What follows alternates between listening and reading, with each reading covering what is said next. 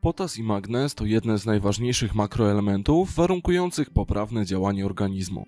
Mają wpływ m.in. na układ sercowo-krążeniowy, nerwowy oraz mięśniowy. Bez nich dochodzi do zaburzeń funkcjonowania najważniejszych organów. Sprawdź, jakie przyczyny i skutki może mieć niedobór potasu. Potas to jeden z najważniejszych elektrolitów odpowiedzialnych za prawidłowe reakcje całego ciała. Pierwiastek ten odpowiada za przekazywanie impulsów między komórkami, co oznacza, że reguluje pracę wszystkich mięśni, w tym także mięśnia sercowego.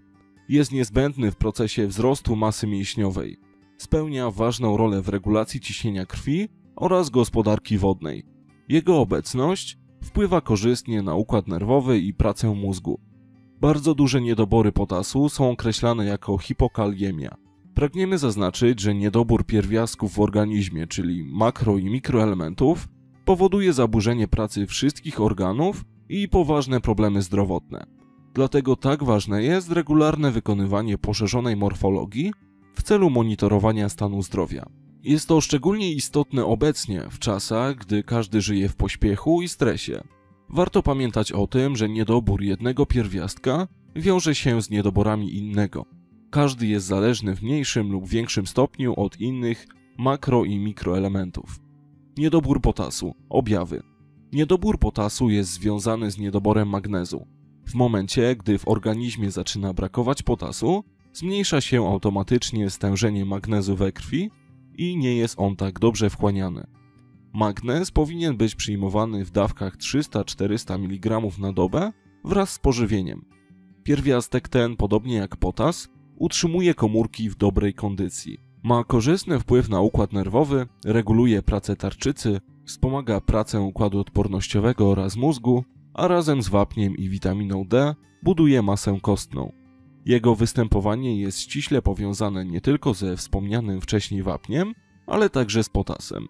Niedobór potasu i magnezu przekłada się na pogorszenie kondycji całego organizmu. Wszystkie narządy odczuwają brak elektrolitów. Niedobór potasu i magnezu oto objawy: drżenie mięśni, częste i silne skurcze mięśni, opuchnięcia kończyn, zaburzenia pracy serca, tzw. Tak kołatanie serca, podwyższone ciśnienie krwi, zawroty głowy, zagęszczenie moczu, senność, apatia, ogólne osłabienie, spadek nastroju, rozdrażnienie, wypadanie włosów i wiele, wiele innych. Niedobór potasu może objawiać się również na naszej skórze w postaci trądziku, wysypki, suchej, szorstkiej skóry i może pojawić się również znaczne pogorszenie wyglądu cery. Niedobór potasu, przyczyny. Niedobór potasu w organizmie może być wynikiem przebytej choroby natury gastrycznej, nieodpowiedniego trybu życia lub okresu wzmożonego wysiłku fizycznego oraz stresu. Trudno jest skazać, co powoduje niedobór potasu, ponieważ czynników może być naprawdę wiele. Całkowicie niemożliwe jest to bez wykonania szczegółowych badań oraz wywiadu z pacjentem.